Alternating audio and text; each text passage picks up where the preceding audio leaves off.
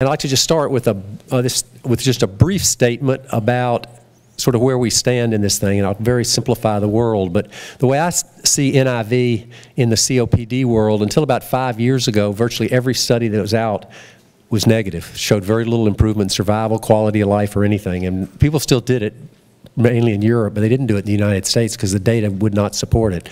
Then the Windisch group started, started using this higher intensity, higher pressure level, higher respiratory rate approach to try to lower the, the CO2.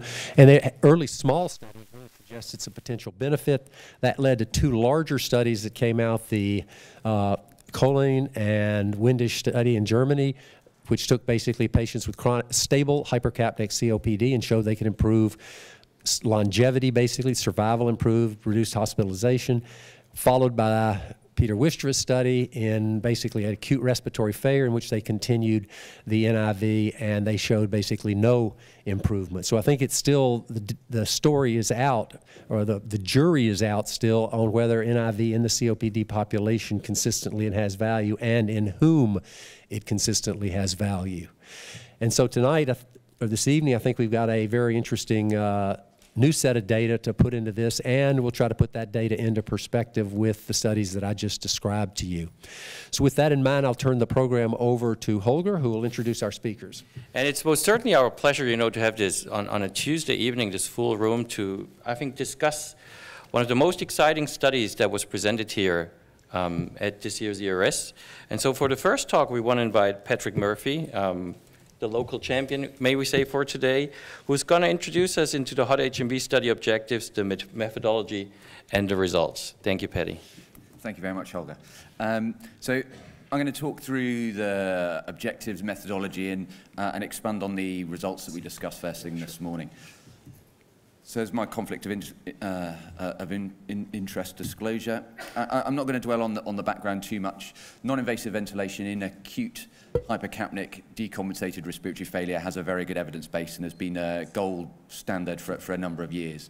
Yet we know once you've had one of those acute decompensated hypercapnic exacerbations, your outcomes are really poor. This is people having their first admission with an episode of decompensated hypercapnic respiratory failure, and you can see an almost 40% mortality at three months. So, so these patients do very badly. And up until very recently, we haven't had very many treatment options that we can offer. This is the Kaplan-Meier plot from the rescue study, which showed non-invasive ventilation didn't seem to offer any additional benefit to standard care in these patients who've recently had an acute exacerbation.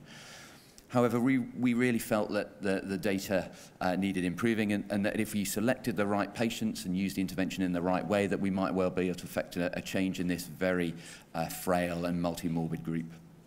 So the hypothesis of the HOT-HMV trial uh, was that if you used home mechanical ventilation, titrated it to nocturnal hypoventilation, you'd be able to improve admission-free survival in those patients who'd had a, an acute recent life-threatening exacerbation of COPD who had ongoing persistent hypercapnia.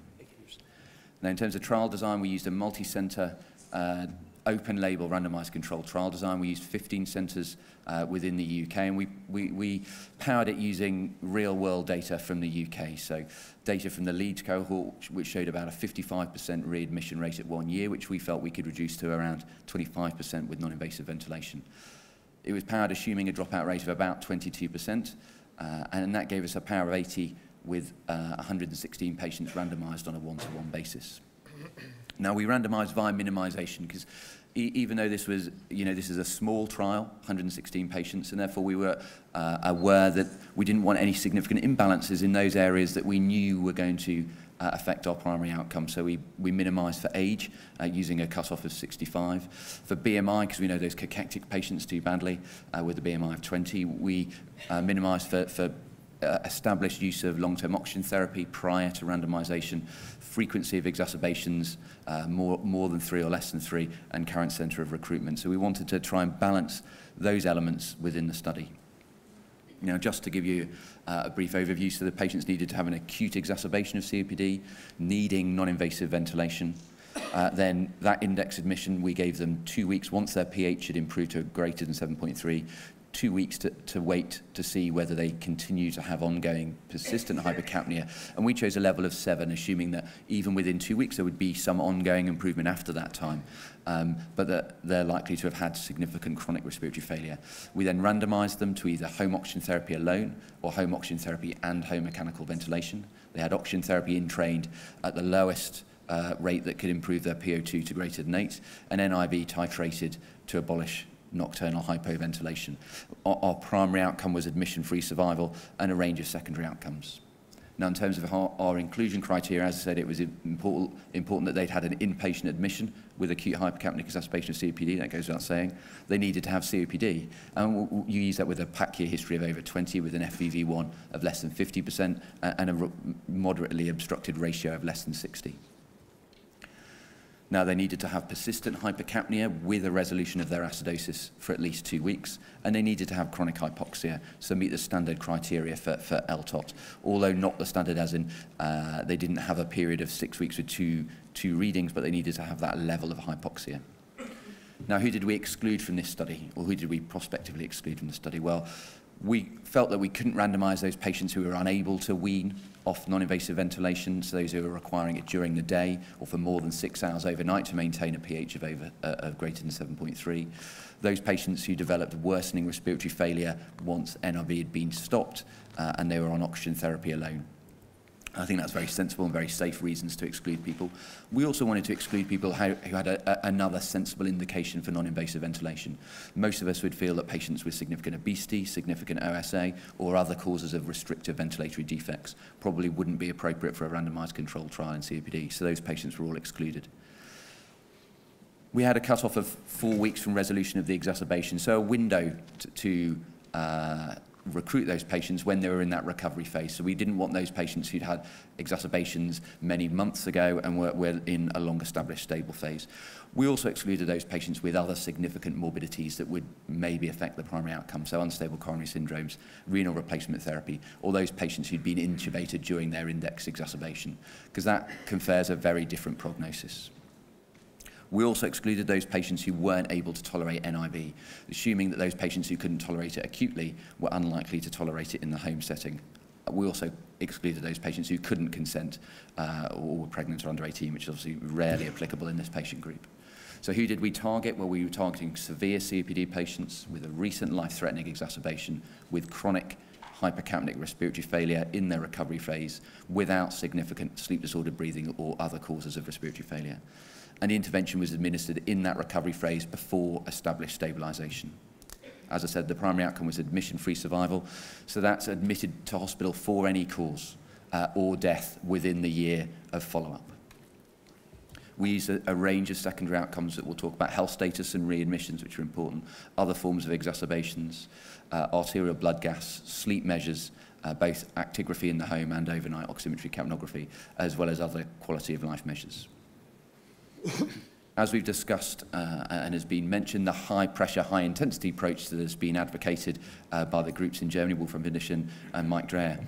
Uh, we, we adopted a very similar approach, so uh, a high pressure strategy of reducing transcutaneous CO2 by delivery uh, of non-invasive ventilation, but not necessarily with a high backup rate as we hadn't found that particularly helpful. Um, and we used a, a, an algorithm on our patients aiming for, to start with an IPAP of 18 and titrate up to 25, although that was obviously as tolerated uh, and as required. Now, there's, there's one thing who you intend to recruit for a study and there's another thing who you do recruit for a study. So we screened 2,000 patients. This was a long study. First patient randomized in 2010 uh, and the last patient in 2015. So it's a big number that we, that, that we screened for eligibility for the trial. And so you need to look in detail at this number to understand whether it's applicable or not, and I think it is. If we look at that 2,000 patients, obviously 116 were randomized into the study, so you have 1,900 patients. If you then look at those patients who, who wouldn't or couldn't partake in the study, i.e. died prior to screening during the index admission, declined taking part in the study, were unable to consent, that removes about a third of the patients. So there's about uh, 1,200 patients left. And then if you exclude those patients who have another good indication for non-invasive ventilation, so these patients, uh, I, I think, would be getting non-invasive ventilation outside of the context of a clinical trial. Those patients with uh, hypercapnic respiratory failure and OSA, those with hypercapnic respiratory failure and significant obesity, or those that decompensated with respiratory failure who are unable to wean, are all likely to get non-invasive ventilation anyway. So that gives us a pool of about 800 patients that we were looking at in the trial. Uh, and half of those patients, 400 of that 800, had significant improvement in their daytime gases, i.e. they had significant hypercapnic respiratory failure during their acute admission, but that had resolved by the time they came to screening. So we recruited about 15% of the suitable population, and as I said, the biggest reason for not re being recruited was resolution of that hypercapnic respiratory failure. Uh, and that's the big difference between the patient population that we looked at in our study and those that were in the rescue trial. Now, I think what's also important is we recruited patients, but what happened to them when we recruited them? Well, we didn't lose any to follow-up, uh, and we had a dropout rate of about 16%, which was well within our 22% uh, that we specified in our power calculation. But actually, it was slightly better than that because some of those patients withdrew after reaching the primary outcome. So in terms of the primary outcome analysis, the dropout rate was about 10%, so well within our 22%. And as I said, we didn't lose any patients to follow-up. We knew the health status of all of the patients at the either withdrawal of the trial or at trial termination. Now, who did we recruit for this study? Well, these are the sort of COPD patients I think that we're all seeing in clinical practice. So they're older, median ages of, of 66 and 67 in the two groups. They, they were largely on the thinner side because we'd excluded those with obesity, so BMIs of 21 and 22. So that's probably less than you think of in your general practice, but that's because we'd excluded those with uh, BMI of over 35. They were frequent exacerbators with 50% or, or, having three or more exacerbations within the 12 months that were uh, preceding the index admission, admission. There were also about half female, half male, which differs quite a lot to a lot of the earlier COPD work. And they had significant airflow obstruction, FEV1s of 600 mils, uh, 24% predicted. These were a, a, a sick bunch of patients. Then if we look at their uh, arterial blood gas analysis, PO2s of 6.4 and PCO2s of 7.9. So very well matched these two patient groups. No significant difference in any of these baseline variables. And these ABGs were performed on air following a night of oxygen therapy without non-invasive ventilation. They also had significant impairment both in terms of health-related quality of life, whether measured by the SGRQ, the SRI, or dyspnea by the NRC, MRC dyspnea score. Now, when we were looking at their baseline sleep studies, one thing that's important is that there was no significant obstructive sleep apnea in this patient population. So respiratory polygraphy uh, was performed in, in a subset of, of patients to well validate it, and the, the AHI was, as you can see, less than five. What was the intervention that was given? The home oxygen therapy group got one litre of oxygen uh, uh, as a medium between half and two litres, uh, very similar in the combined HOT-HMV group. We delivered relatively high pressures, a median of 24 with an EPAP of 4 uh, and a modest backup rate at 14.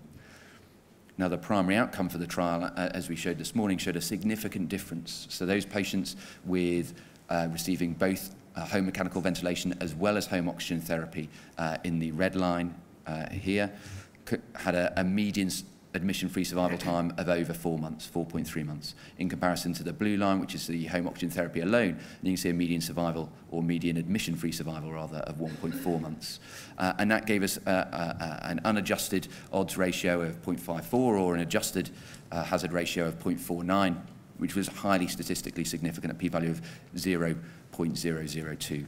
Now, in terms of the adjustment factors, we adjusted via the minimization criteria, so age, previous use of LTOT, uh, the, the BMI and so on. Those same criteria were used to adjust because we knew they were the criteria that would affect our primary outcome.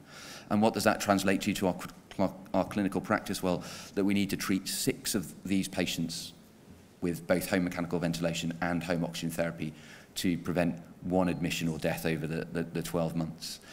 So we think, well, we've had a significant positive result, and, and, and how do we, how does that differ from, from some of the previous data? And I said one of the most important things is we needed to show that we demonstrated that we ventilated the patients. I think that's an important difference between this, these data uh, and some of the earlier data.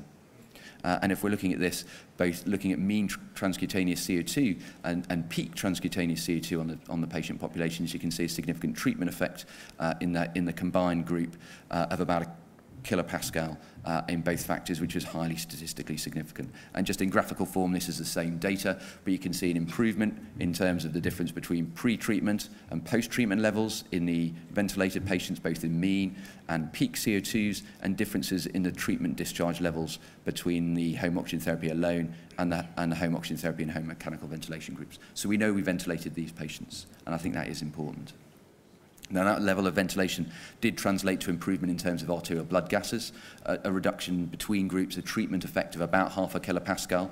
There was statistical up until the three months levels, and then there was some dilution of that effect. Although at 12 months, uh, the difference, although not statistically significant, still around the same sort of level of treatment effect of about half a kilopascal, but not statistically significant. And part of that is the diminution in, in numbers, and, and that's because by the time of 12 months, we'd obviously had a, an approximately third mortality rate in, in, in those patients. Now, one thing that people are concerned about in terms of uh, the delivery of, of non-invasive ventilation in, in this patient group is an effect on, on health-related quality of life. We know from the AVCAL data there was concerns raised that although there was a, a modest treatment effect, there, there was some reduction in health-related quality of life in the NIV group. We didn't see any of that effect. Using the SRI score, which is a uh, health-related quality of life score specifically for patients with sleep disorder, breathing and, and respiratory failure showed significant benefits within the first six weeks. Now, those benefits did reduce over time, uh, and there was no statistically significant difference over the prolonged follow-up. However, there was no suggestion that there were worse health-related quality of life, so there was no suggestion uh, of, of, a, a, of an effect of deterioration caused by the ventilation within this group. So we have a trial that shows a significant benefit in a group that we think is slightly different from those other patient populations. But what makes up that admission-free survival? We used a, uh, a combined endpoint of either admissions uh, or uh, death by 12 months. So if we look at mortality alone, what, what differences uh, did we see in this patient group? And actually we saw similar levels of death within that 12 months. Uh, in this Kaplan-Meier plot, not statistically significant, although you can see that the home oxygen group do slightly worse. There's no statistical significance between these two factors. Now, what I think is important is we look at the cause of death in those patients, and this is taken from the death registry, so this is what's registered on their death certificate, uh, which is in the UK how we uh, record uh, the cause of death. And you see the vast majority, the cause of death was listed as COPD uh, alone. There was pneumonia, respiratory failure, lung cancer and pulmonary. So the vast majority, uh, 34 of those 35 deaths over the 12 months were respiratory in nature. One cause of death was attributed to congestive cardiac failure. So if it wasn't uh, a, a mortality difference between these two arms, uh, what was leading to the admission-free survival. Uh, and we'd always had this thought in our mind that NIV might not change the disease process, but those patients at least would be able to exacerbate at home on their ventilator rather than an admission. And in that severely unwell group, that might offer some benefits. But actually, what was interesting is we saw a reduction in the rate of exacerbations within that patient population. So not only uh, was the admission-free survival prolonged, but if you looked at all exacerbations, not just those that led to a hospital admission, but those that led to treatment changes in the community, a reduction from five to fewer than four per patient per year. But one can see that the median number of exacerbations in these patients are significant. So these patients having on average four exacerbations in the hot HMV group and five in that home oxygen therapy alone, but with a significant treatment effect, both statistically significant uh, and with a hazard ratio that, that would, uh, I think, encourage you that this may have a true treatment effect. So having looked through the data, what can we say? Well, we know that if we pick the right group, we seem to be able to affect outcomes in this. Those patients with persistent hypercapnia following a life-threatening exacerbation benefit from home non-invasive ventilation in addition to home oxygen therapy. There's a, a, a prolongation of admission-free survival and a reduction in actual exacerbation rate. Uh, I think when we're contrasting it to previous data, um, the persistent hypercapnia is important and therefore that's going to need us to change our practice and how we monitor those patients following an acute exacerbation uh, in our general practice. But you need to titrate that to the nocturnal hypoventilation. So there needs to be uh, some nuance to that. And I think most importantly, these patients don't seem to have any uh, deterioration in their quality of life with the burden of home ventilation.